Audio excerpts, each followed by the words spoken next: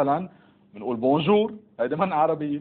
bonsoir au revoir بنستعملهم كثير بالسيارة في عندك vitesse chambrière هيدي شو هيدي ال ال دبرياج. دبرياج. شو؟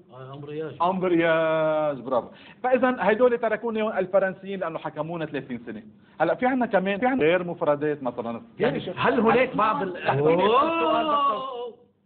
شو بقول لك حيوان ولا؟ لا شو شو هاد بقول لك حقي شو الحكي هذا؟ لا لا لحظة شو هذا؟ مو جايب للمفردات هيدي مو هي كلمات عفوا مسيو حلاوي بس بس لأنه طلعوا معي لا شعوريا.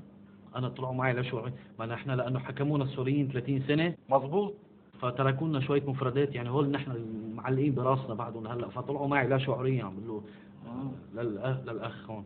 مش قاصد أنا بس إنه لك حيوان ولا؟ لا خلاص بقى. في غير هاي المفردات اللي عم طبعا تقولها. طبعا أستاذ مثل. شو هات نورها. في كثير مثل شو؟ في كثير مثل عندك وطي بلورك ولا؟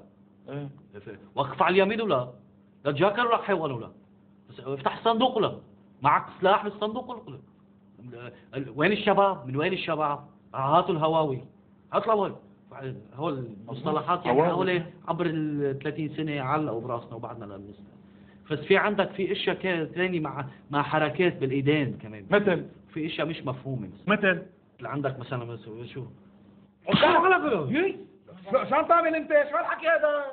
خلص كلامك ولا كلامك خلص خلصنا شو شو شو النيار؟ الاشياء مش مفهومه بس معلقين براسنا بعد كانوا يقولوا لنا انتبهوا لهم هول انتبهوا لهم لازم ننتبه لهم إيه